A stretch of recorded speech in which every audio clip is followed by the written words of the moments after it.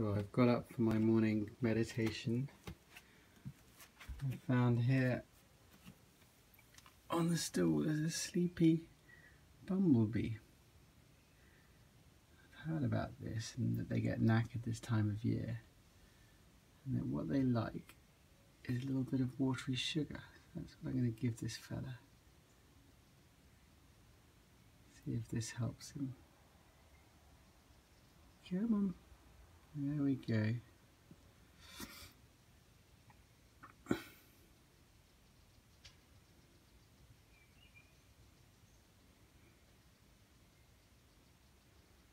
A bit of sugary breakfast for this fellow. He looks totally knackered.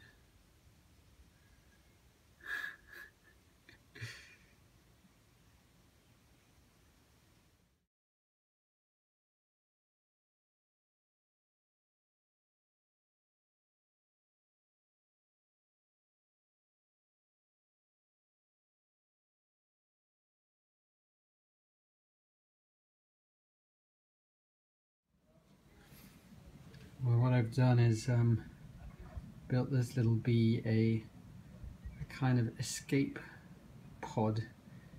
Because um, I've got to go out now for the day but um, I didn't want to just leave him outside because I thought he might get just eaten by a bird. So I've put him in here with a little tray of sugar water and a kind of route out to the outside world. But right now he's just completely knackered and is dozing not much activity at all, so he's not in a good way, but I'm hoping that he's, he's just having a, a rest and that he'll be okay.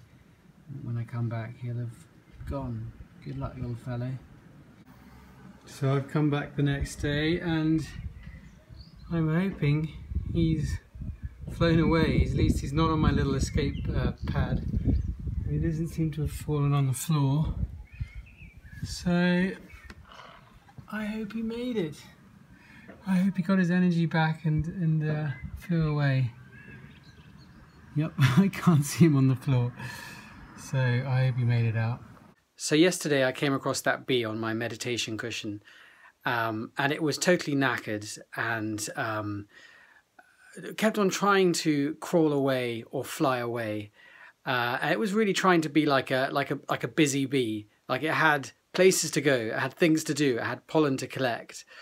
Um, but it just didn't have the energy. It would it would try and fly away and and and buzz its wings, but it wasn't able to lift itself up because it was so knackered. Um, and really, it just needed to rest there for a bit and to to drink the the sugary water that I was trying to give it, uh, and eventually its energy uh, would come back as it did in the end. And I couldn't help but see um, a kind of metaphor in this for for all of us that we have such busy lives. We're so focused on our plans, on all the things we have to do, the places we have to go, uh, the people we have to meet, that we get really burnt out. Um, and really, what we need to do sometimes, just for a bit of time, is to just sit there, um, rest in the moment, rest on that cushion, follow our breath, uh, and and uh, look within us, where we'll find the the spiritual equivalent of sugary water, which we can drink from and rebuild our energy and just do that for a bit until we are revived and restored. And then, if we want, we can fly away and do all the important things we have to do.